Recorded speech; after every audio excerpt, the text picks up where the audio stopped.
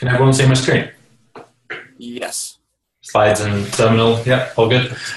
All right, cool. This should be this should be really quick. Um, I just want to give a quick overview of PSC package because it's been around for a little while. Um, I know some people have tried it out, but it hasn't got a lot of um, you know press um, in the release notes or anything like that. Uh, so just to give a quick overview and people can try it out. I'm sure most people here have probably seen a lot of what I'm going to show, but it'll be good to get you know get it on YouTube anyway. Um, and I'll give a quick demo as well. So Okay, uh, yeah, let's start. So, uh, what is PSC package? Uh, from the repo uh, description, it's an executable which helps manage PureScript dependencies using Git. Um, so that's you know that's pretty vague, but essentially uh, the goal with PSC package is that it's supposed to be something that you could use in place of uh, Bower and Pulp if you didn't want to use. Um, well, so it, it, solves a couple of problems, but you know, some some people don't like to use Bower and Pulp for various reasons because they don't want to depend on Node, or you know, they want the pure, um, you know, maybe they're, they're setting up their their setup as sort of a, you know a pure Haskell project, and and you know they're just using, you know, PSC the executable, or you know, it's harder to set it up for their operating system or, or whatever, right? So um, it just gives an alternative, um, you know, an alternative to those existing tools that we've used in the past. Um, that's more convenient in some cases but it depends quite a lot on on your workflow, right? So, for example, um, PSC package is already being used by some alternative backends like Pure 11 and the, the Erlang backend, I believe, because um, you know obviously you don't tend to use Bower when you or Node in general when you're writing you know C++ or Erlang, so it makes sense to have something shipped with the compiler that's a little more uh, you know backend agnostic, right? Um, so uh, you know the, the, goal here is not uh, not for the compiler to uh, encourage users to use PSC package exclusively, but that the compiler uh, itself should not depend um, on Bower specifically, right? There should be no tie. Uh, it should be convenient to use Bower, and it should be convenient to use PSC package, but the compiler shouldn't have a preference for either one. It should just have whatever hooks and command line options are necessary to enable the user to choose whichever is more convenient. Um, so hopefully by 0.11, you know, that's going to be the case, and all of the, uh, you know, specific things, you know, that things that specifically required Bower uh, now are just going to be, uh, you know, that you could you could use PSC package just as well. Okay, so I'm just going to go through this this quick start guide, just show, uh, you know, at a high level how you would use PSC package and why it's useful. Um, so you, you can start by initializing the project. So you can say, you know, PSC package init, uh, actually, I guess I should show uh, just quickly how you might get hold of PSC package. I think the PSC package repo, uh, you know, has the binaries like we do with the compiler. I think I set that up, but by 0.11, I'll release, you know, actual binaries. Um, but in the meantime, you know, you can always just build, uh, you know, the sort of the latest version of, uh, you know, of master by just doing stack build uh, or stack install or whatever. So I, I usually just do, um, you know, copy them. Is this font size readable, by the way? I turn that up a little bit. That's fine. Yeah, it's okay. All right, so so I, I just ran this and you know I copied this PSC package executable into on you know onto my path somewhere. Um, okay, so to start, I'm just going to create you know a new directory inside temp. Um, PSC package example. Okay, and obviously it's empty, and I can just say PSC package init. Um, so what this is going to do is, you know, it's going to it's going to try and figure out what version of the compiler you have on your path, which in, in the example here is 0.10.7. Um, and in my case over here is actually 0.11, like, you know, off of master, which is a development build. So um, when I run this, it's actually going to give me an error because there's no, uh, there's no package set configuration for 0.11 yet because it hasn't been released. Um, so what I'm going to do is I'll, I'll do this and then uh, I'll sort of modify the configuration to point it back at the old configuration for 0.10.7 so you can see the configuration and then it should work. So it'll say using the default package set for 0.11 and then it tries to clone that from you know wherever that configuration lives um, and it'll say it couldn't find the branch PSC 0.11.0 uh, because I haven't created it yet. So um, if we look in PSC package JSON, well, First of all, so PSC package JSON is the configuration file that it created for my project, right? Uh, if I open that up, it looks like this, right? So it has a name, it has a package set which it, it tried to guess based on my compiler, but you know, in this case, it messed it up because I don't have that package set. But I can just go in and you know modify this to something that does exist, and then it has a Git repo. Um, so so this is you know the standard package sets repo, uh, which has all of the you know package configurations for the various compiler versions, and then a list of dependencies. Right, so we just start out with Prelude. Okay, so if I quit here, and then instead of PSC package init, because I already have the project initialized, I'm just going to say update. And it'll go and you know resolve that Git repository and pull in um, you know my dependencies. Um, so now if I look in this uh, dot directory dot PSC package, um, I have two directories, one for each of the package sets it tried to clone, right? And inside the uh, 10.7 folder, we have one one directory for each of the uh, uh, you know each of the dependencies, and there's another hidden uh, dot file in here called uh, dot set, which is the actual package set itself.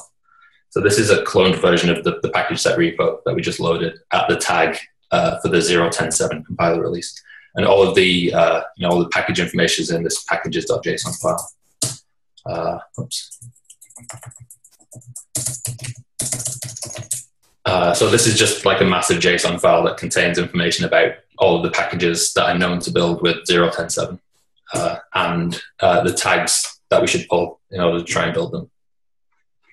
So nothing particularly clever here, just you know, big pile of dependencies.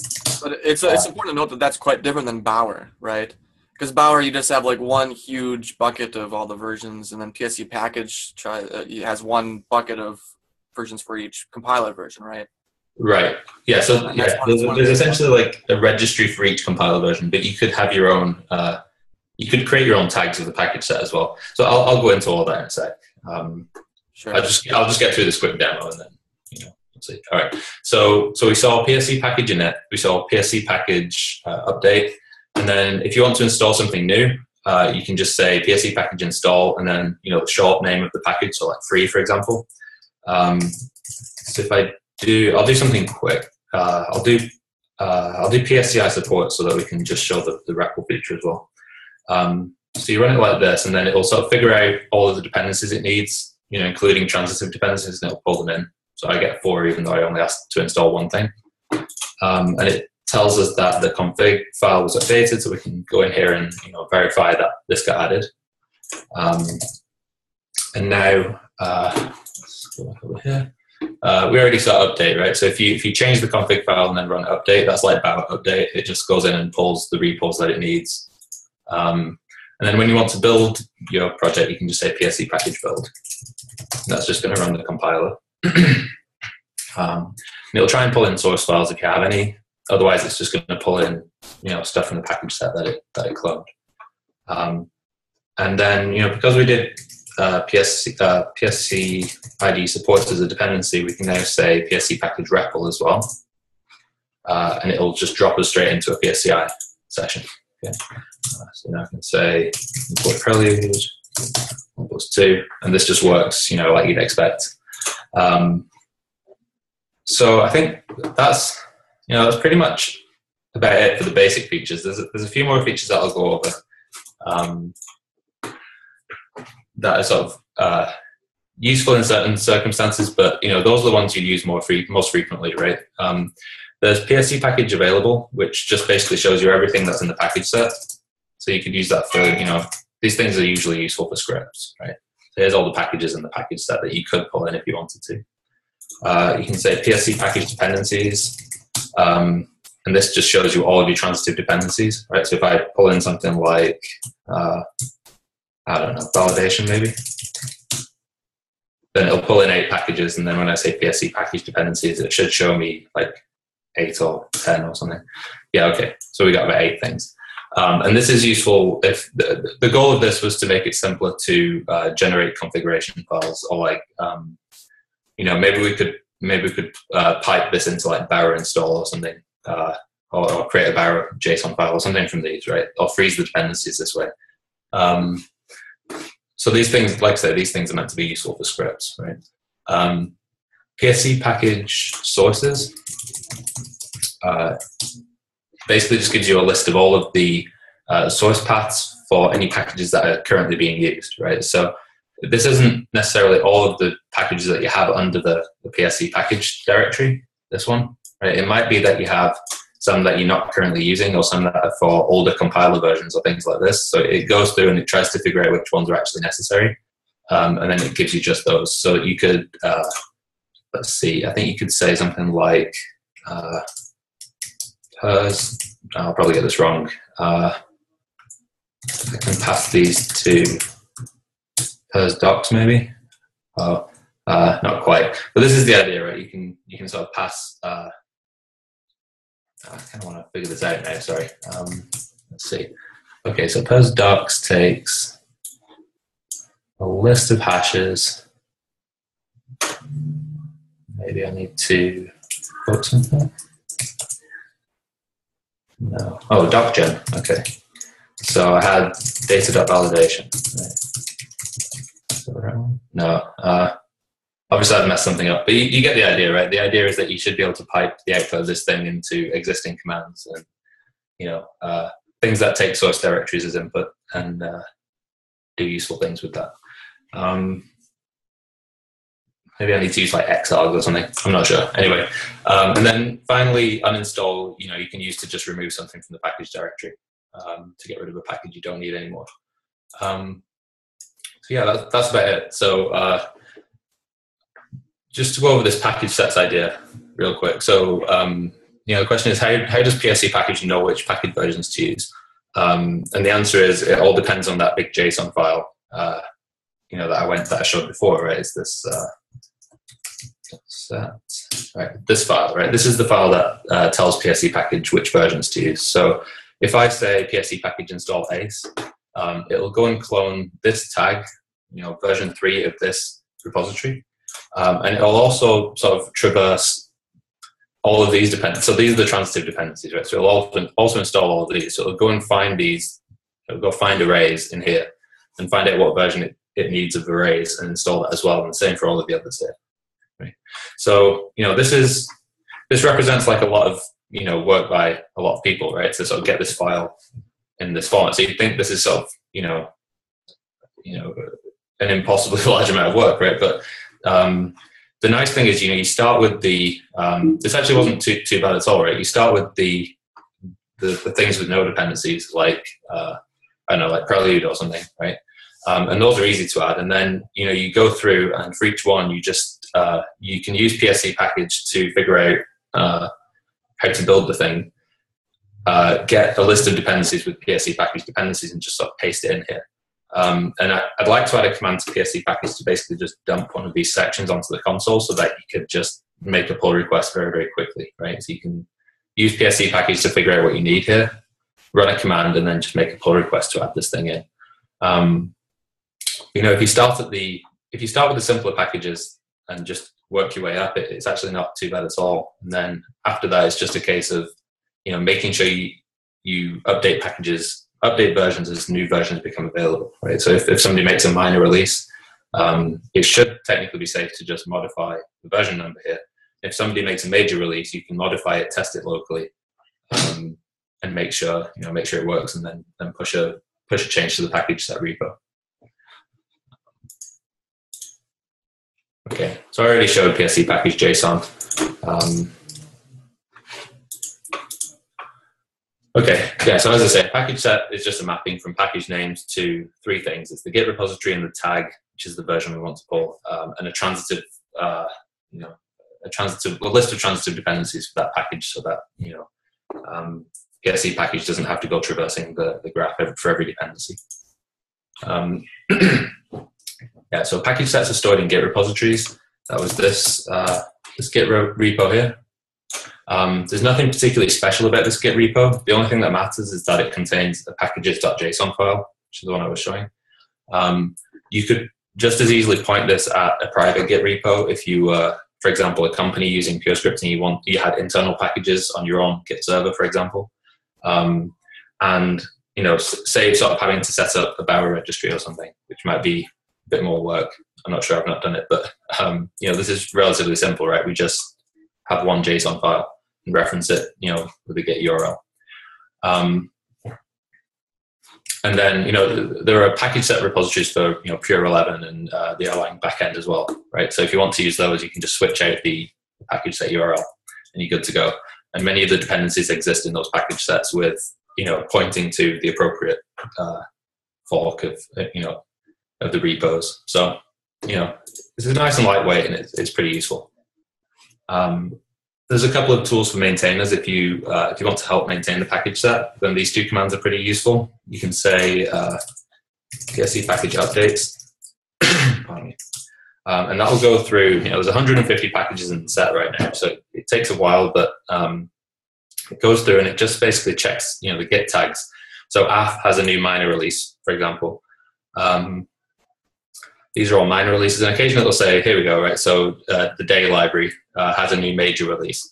So now you can say, uh, I think health works here. Yeah, okay. So you can say apply, um, and that will go through, and every time it would say uh, new minor release, it will actually just update the local package set. If it's uh, if it's a minor release, like I said, those should always be safe, right? Um, and then you can say apply breaking, and that will apply all of the updates, including the major ones. So then you know you have to be a little more cautious then and sort of check that things didn't break, right? And hopefully using continuous integration to, to help out there. Um, but you know, this this can be kind of useful for um, making sure the package set you know stays up to date and doesn't break. And then the other uh, the other tool is uh, PSC package verify set. So this one again takes a while, and this one is actually used in the continuous integration job for the, uh, the package set repo, and it just goes through and just clones every uh, every version of every repo that we have in the package set, and then just tries to build them all in order. Um, and if any of them fail, then you know the, the, task fails, and that causes continuous integrations to fail. Right, so uh, PSC package 0.10.7, uh, and as you can see in here, you know it just started cloning all of these things. It would have just if you leave it to go, it clone them all and build them all. Okay, so you know this is a nice approach depending on your workflow, but it doesn't work for everything, right? It's, it's not meant to. Um, specifically, it doesn't do any constraint solving. So one of the nice things about Bower is that you can just say, you know, here are the 20 packages I would like.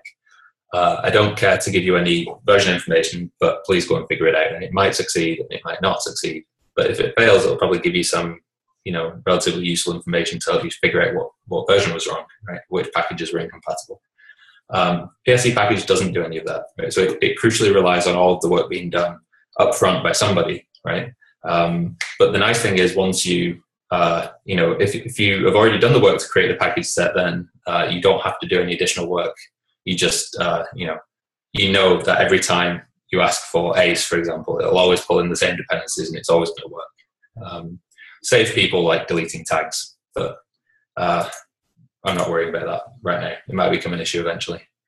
Um, and then, you know, the other caveat is that you can't customize package versions. So in Bower, you can always say, um, you know, I, am going to just point, instead of using the standard uh, PureScript canvas or something, right, I'm going to just point this at my local fork of PureScript canvas. Um, you can't do that easily with PSC package. The way you'd have to do that is to go into, you know, the dot .set directory and modify the package's JSON file uh, yourself. So you can do it, but it's more work.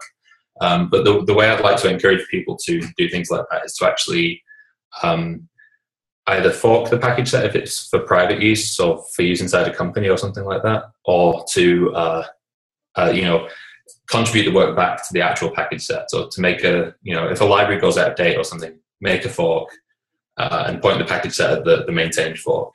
Um, so like I say, it's not it's not ideal for all workflows, but it's it's useful for a lot of the simpler workflows, and it can uh, the, the, nice trade-off is that you know for beginners, I think it's it's a lot quicker to get started, and you don't have to worry about installing Bower and all these things. Um, okay, here we go. So, uh, contributing. If anybody's interested in contributing, there's a lot of ways to help out with the PSC package. Um, one of the main ones would be to just help maintain the package set and to go through and look for PureScript packages that are maintained but not in the set and add them with the pull request. Um, next, if if anybody wants to just try it out and actually start using it for development and, and report bugs as they see them or feature requests, that would be awesome. Uh, there's lots of, well, there's not very much documentation right now, but there's lots we could write. Uh, there's bits and pieces like in the README. Uh, but it'd be nice to have, you know, proper guides and, uh, you know, tutorials with this stuff as well. and then, you know, obviously contributing to PSC package itself would be great. Uh, it's a simple Haskell project. It has almost no dependencies. It's just basically a shell, you know, it's a glorified shell script. It uses the Tesla library to, you know, shell out to Git and various things. Um, and the code's pretty straightforward. So, uh, you know, I'd appreciate any help. And there's lots of, uh, you know, there's lots of stuff to do. So um, let me know if you're interested. Uh, and in particular, you know, these are the things that I'm, i would like to get done eventually. So uh, there's a couple of uh, tools. You know, there's a few tools here that we have in the compiler that aren't integrated with the PSC package. So uh, publish. I did some work on the compiler recently to make it easier to integrate with this. Uh, so you could, you know, publish things to Pursuit uh, that used, you know, PSC package locally for managing dependencies.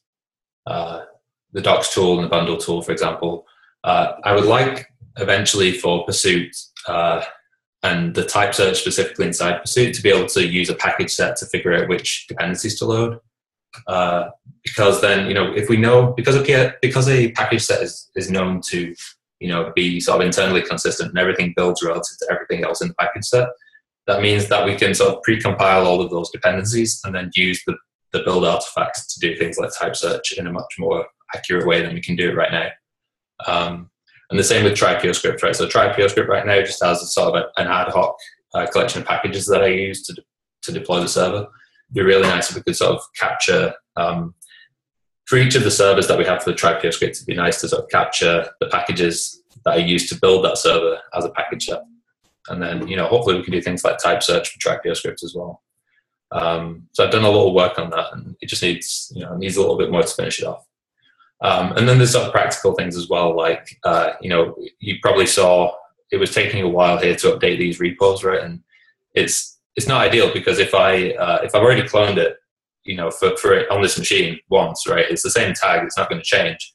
Um, I should just be able to cache that somewhere globally and reuse it, uh, but it doesn't do that right now. So you know, it's uh, it's pretty slow uh, when it has to do these jobs like cloning 150 repos. Uh, so it's something that's relatively straightforward. Uh, if you wanted to contribute, would be to uh, add caching for cloned repos. Um, and that's all I have. So, uh, any questions? Otherwise, we can move on to the point 11 stuff. That was that was really awesome. Thanks a lot for showing all that stuff. Yeah, nice. I just have a question about uh, deprecating then uh, pulp and and uh, using Bower. Is there a plan, or can we just continue to use uh, pulp and barrel uh, Bower like we have? So far? So uh, there's there's no plans to deprecate anything, right? Like so. Um, the, the, the point is that these are supposed to be useful for different workflows okay. or different backends and, and pulp is you know pulp's a great tool right I, I use pulp for a lot of things uh, yeah um, so no it's, uh, yeah nothing's nothing's getting deprecated just uh, there, there, might be sort of um, we might add features to pulp to support PSC package files or vice versa right uh, mm-hmm yeah, so there might be more integrations. Okay.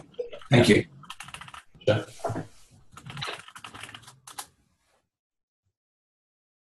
I think PSC package is uh, especially well suited when you're building an application and you're only managing your own dependencies basically. You don't have to worry about upstream dependencies as much or maintaining backwards compatibility or something. Yeah, so there's there's like more there's a clearer motivation for it when you're doing application development. I agree, and there's a sort of um, interesting thing where you know when you're doing open source package development, it sort of crucially relies on everyone uh, contributing, right? Or like everybody has to sort of pick up work for everybody else and take their packages and include them in the sets or something.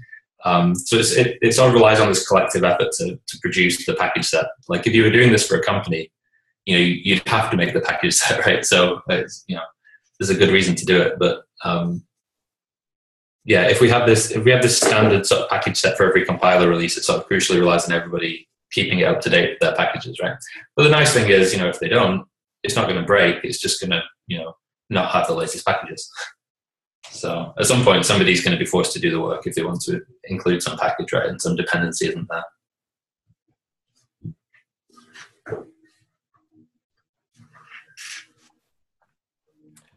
All right. So all good? Yeah, I think so. All right, cool. 0.11 stuff then?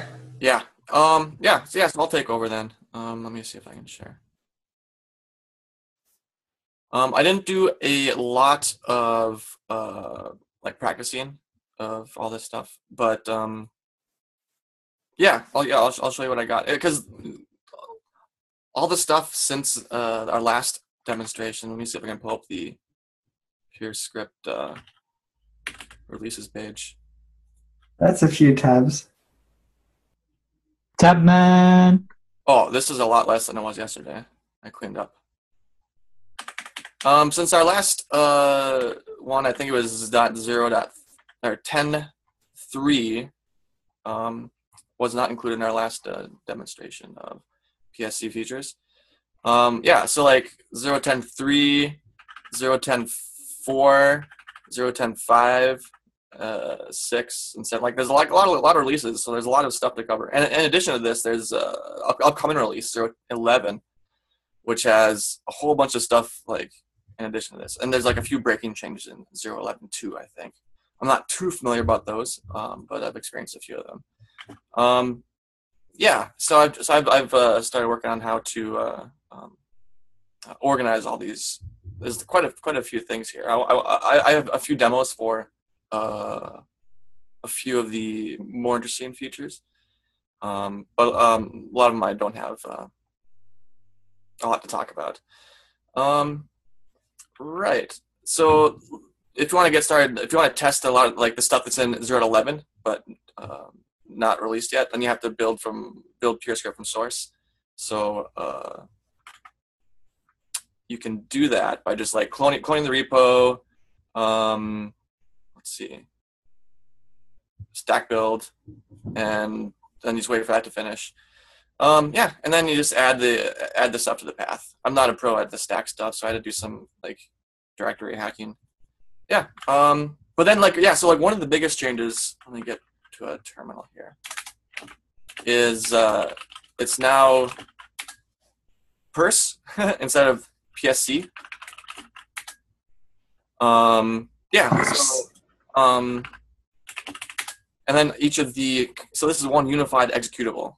Um, so you have purs build, purs or not build, uh, purs, purs compile, and then purs IDE server and IDE client those are all in single executable. And purs REPL instead of uh, PSC I, that's changed to purs REPL. So this is a pretty big uh, noticeable thing. Um, and there's no backwards compatibility. So if you install 011, like you, you there's no uh, wrapper around like a PSC uh, to call the purs build or purs compile.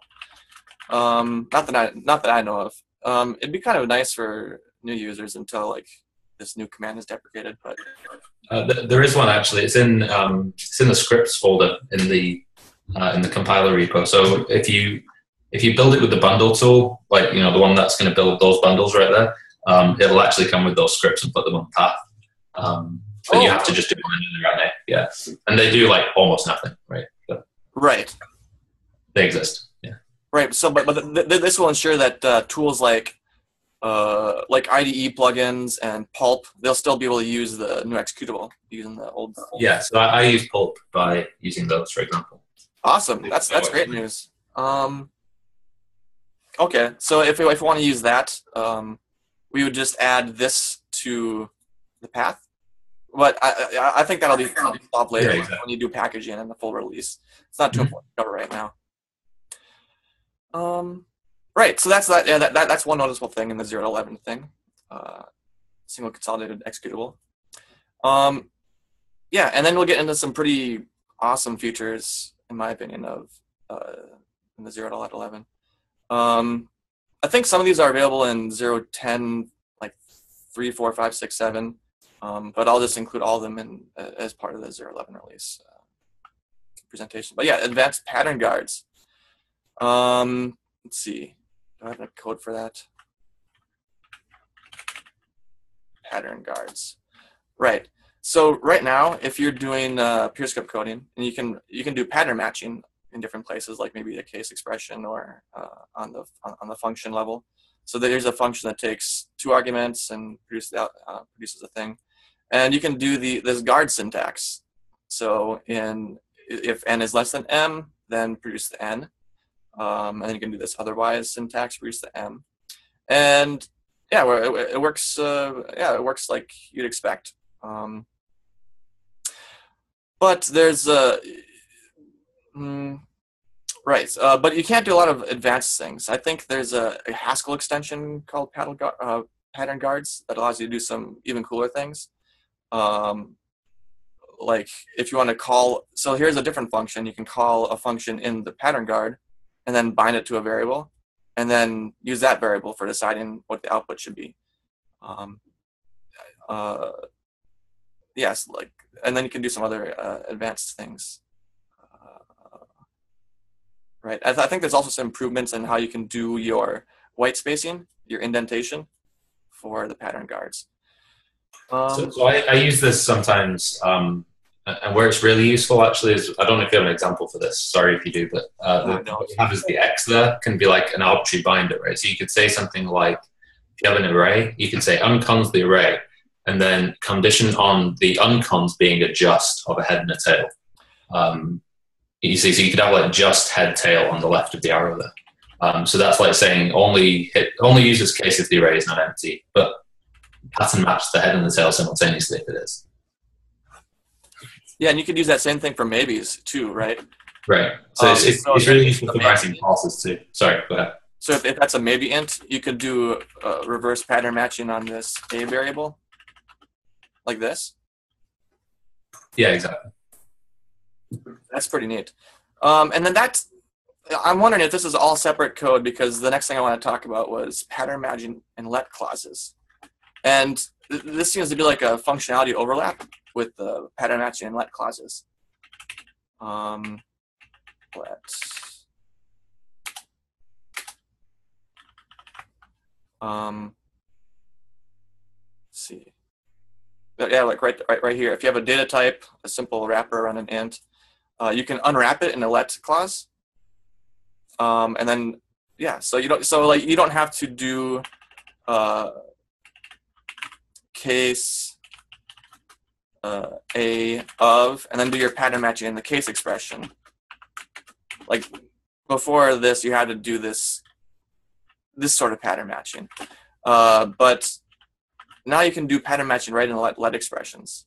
And that's uh, similar to what uh, we were just seeing in the pattern guards. You can pattern match out of the out of these binders in a pattern guard.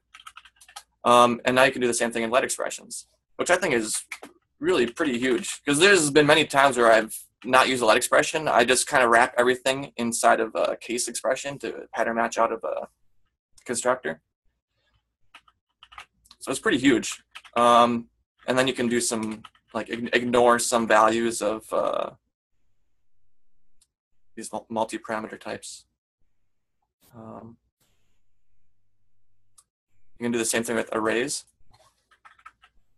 Uh, an array of two elements, you can pattern match to get the first two elements. So this is pretty like life-changing features in my opinion for PureScript developers. Um, pretty important to raise awareness of this one. Um, yeah. Um, yeah, so that's all I've got to say about that one, unless anybody else has something to talk about about that feature. Implicitly described. And then there's uh, this one's pretty interesting one because this is one of the breaking changes in 0 to 11. Uh, there's some concern about uh, throwing like throwing away values in do blocks. Um, so there's there's a suggestion to fix that by um, forcing you to bind it to an empty. Uh, I'm not sure what, what you call that. Um, I don't know if I have an, ex an example for that.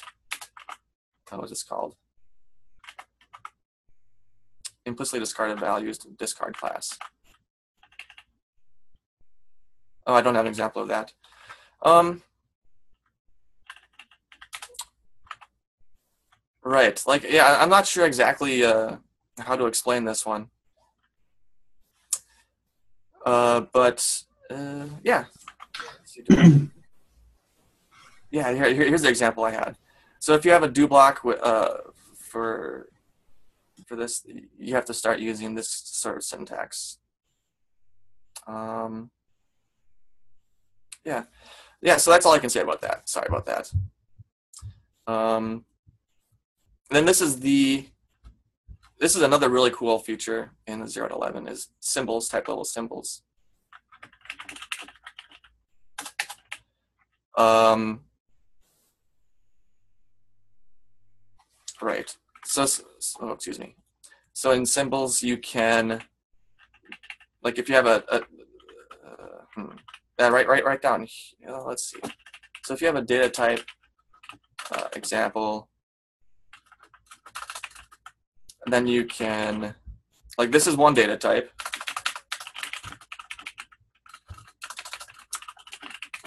And this is a different data type.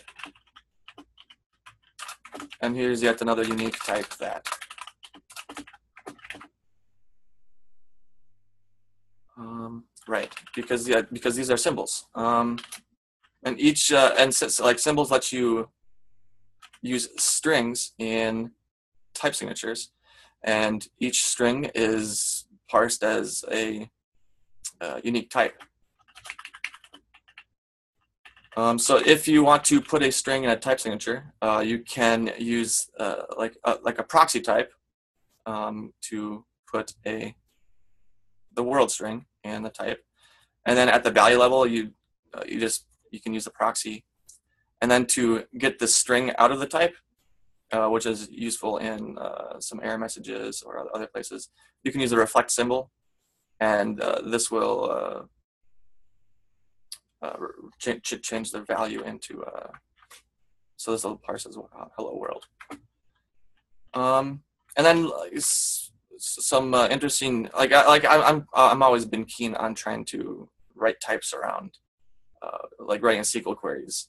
So you could like write some code like this where you just do a type synonym of this table of an S proxy, um, and you can make a, a value called asset table um, and then you can write functions for querying just the asset table.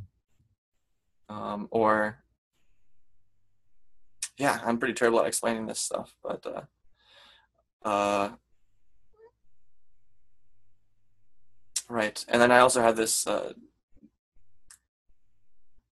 use this different name called like ref, like ref and deref, uh, and that's kind of like what's happening. Like you can store a reference to a uh, type a type level symbol, and then you can deref that using the reflect symbol function to get uh, uh, like that the symbol from the type back into the value level.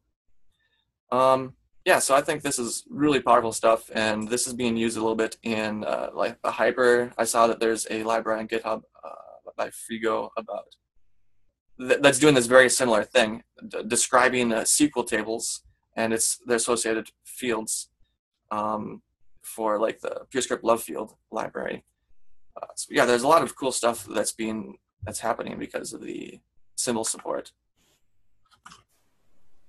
Um, right.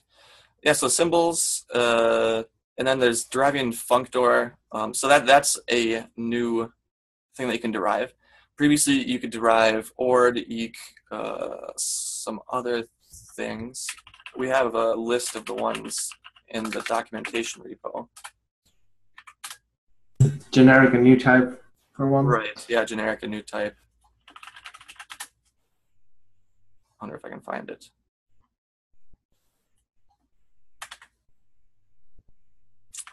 looks like it hasn't been merged yet. Um, right. And user-defined kinds, uh, I, I, didn't have time to parse into this to learn exactly how this works.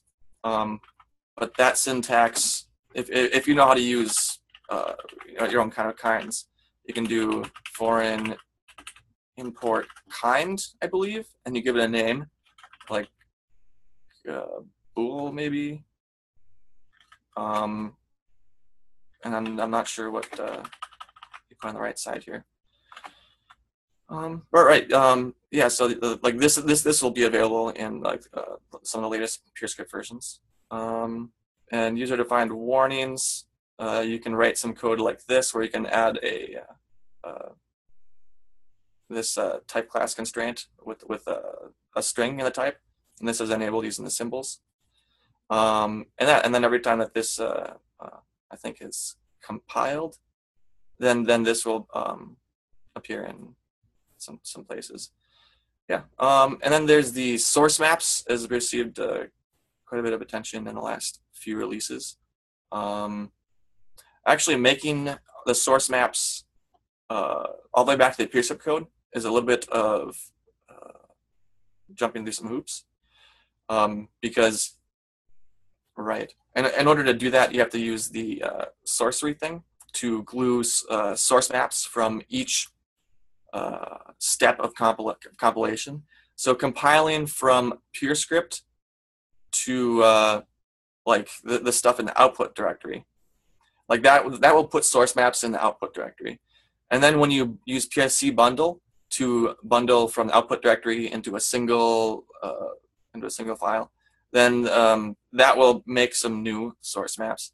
And then using uh, Browserify to again bundle the PSC bundle into something that's ready for the browser. That will make yet a new set of source maps. Um, so then gluing each of these source maps together and each in each of these compilation steps can be done using uh, this sorcery. Um, I'm not sure if I have. Um, yeah, I'm, I'm quite afraid to actually go through and try all this, but it's worth a try. Um, So this is with the old uh, PSC. So we can do purs compile. Um, and then I'm actually using PSC package in this repository, in this uh, directory. So we can do PSC package sources, I believe. And then we can request the source maps. Um, we need to remove what's in the output directory right now.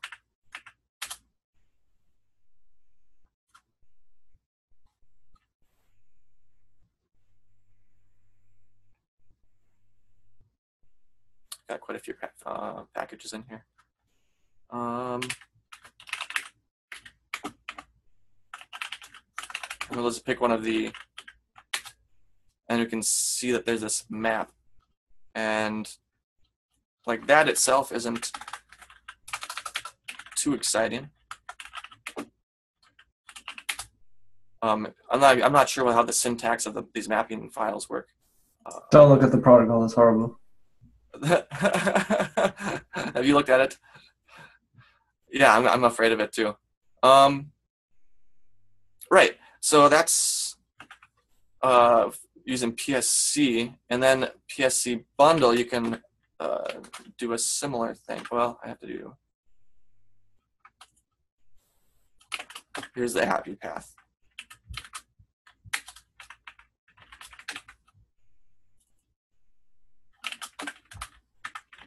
Um, I think there's a purs command for bundle. And then I'll put this in, uh, we start from the main slash index.js and then we output it into this bundle thing in the output directory. The main modules and ask for source maps. And we'll see if that worked. It did, I think. Yeah, there's a map there. Okay. Um, oops. And then we have to do the browserify. Um, I'm not sure if we have to have the output in our path in Browserify. I've already installed Browserify in this directory, so I just want to put this in the top level app.bundle, and we'll take that uh, PSC bundle we made before. And this dash dash debug flag on Browserify will pass, we'll have it make some source maps.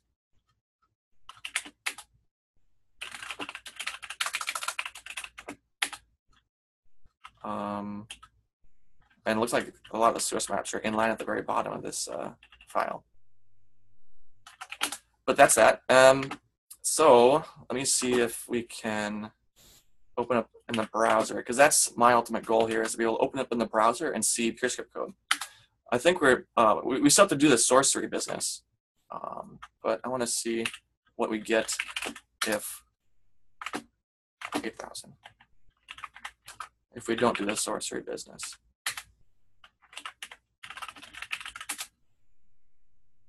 Um,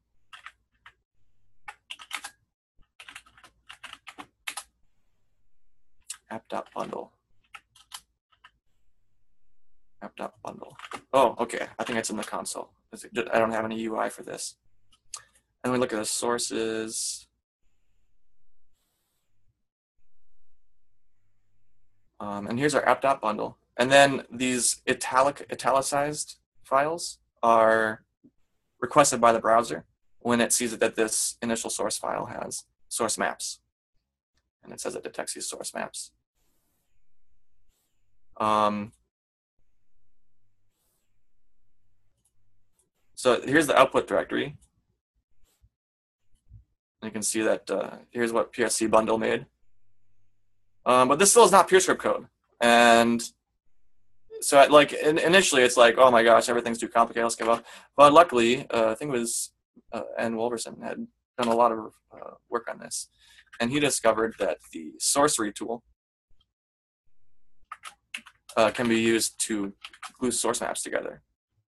So we just point it to where the top level source map is, and then I believe sor uh, sorcery will go through each of the, it'll go backwards, because uh, each of these source maps has links to the previous code, and that code has links to its previous code, um, and such. Um, so I'm not so then that outputs this app.bundle.js.map.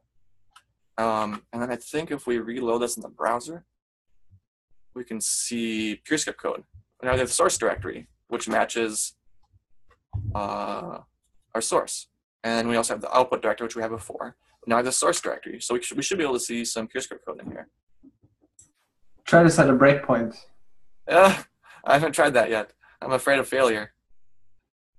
Um, oh, good. Here it is. I had to scroll up. Um, breakpoints. I don't take breakpoints. I don't have enough code here to do breakpoints. So some breakpoints should work at least. I'm not sure with uh, this particular set of um, of tools, but at, at, least if you've got a do notation, you might have a chance. Mm-hmm.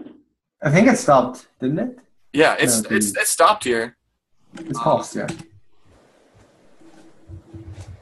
I'm not sure what's like like like there there is some stuff in scope here.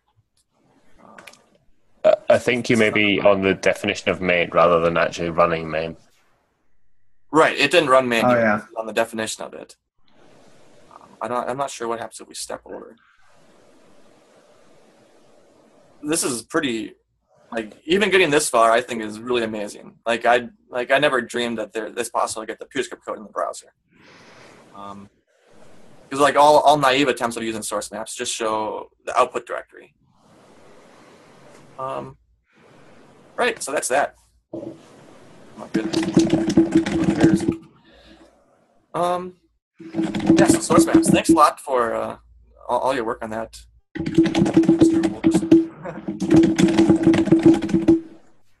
um, then moving on, the nested record updates, uh, I think is also pretty huge. Nested record updates. Right. So if you start with a PureScript record, um, and then and it's like uh, this is like information about me, like my name, age, location, address, city. The point here is that it's records inside of records inside of records.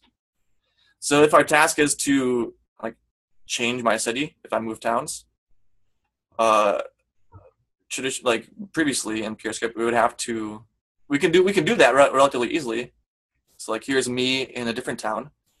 We would take the me record and we can use record update syntax Uh, but then in order to change the city, we have to traverse like kind of all the way down here. So we have to do we, set the me location. So we set location to a new me location where that location has been updated, and its address updates you know me location address is address, and then all the types match up so that this works out. But uh, it's kind of a pain because you have to reference like the original record like quite a few times.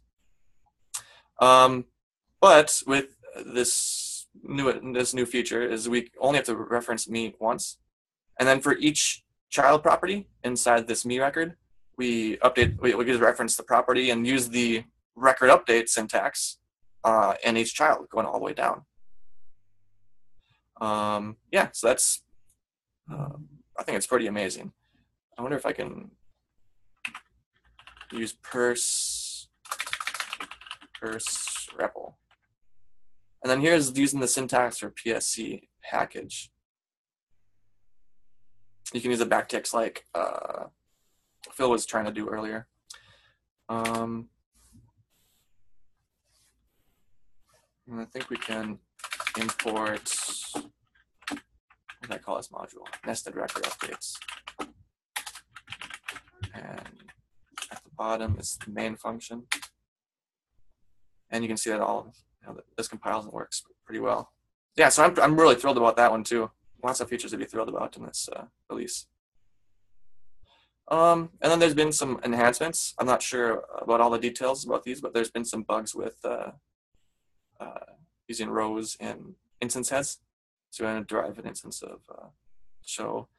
Um, I think, right, right, right.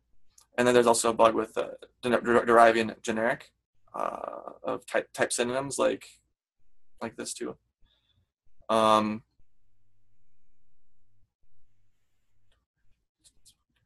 right.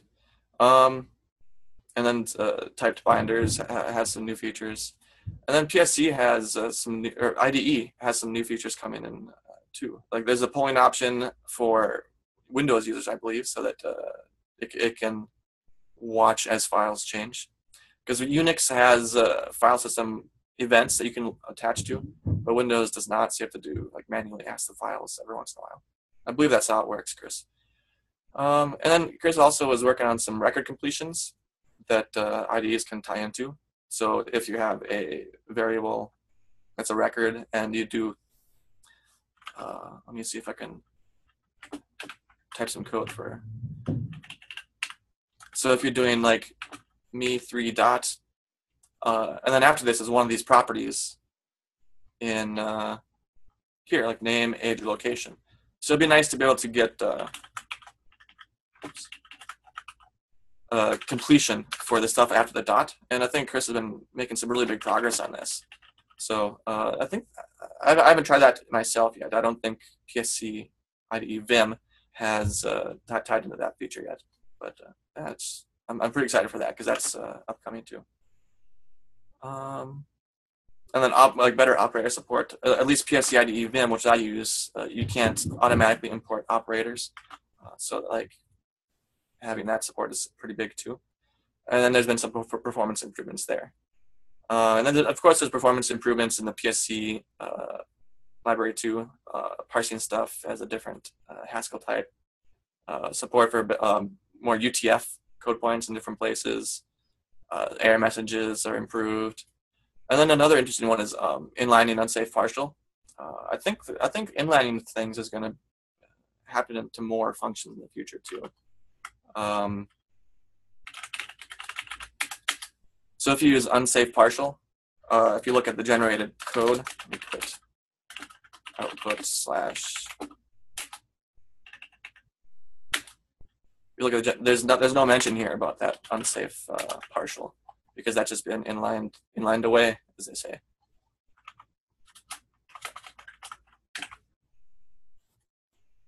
Yeah, so that's that's all pretty pretty great stuff. Um, right, and uh, in Phil's talk on PSC package, um, he said he, he said he made some changes to the PureScript compiler so that you can do uh, PSC package docs, I think. And I, th I think that command may, may, might have had some hard dependencies on Bower executable, perhaps. Um, but yeah, there's some work towards removing dependent hard dependencies on Bower. Um, yeah, so that's like all all all the stuff I've got to show. Sorry, it wasn't more organized and you know enthralling, but uh,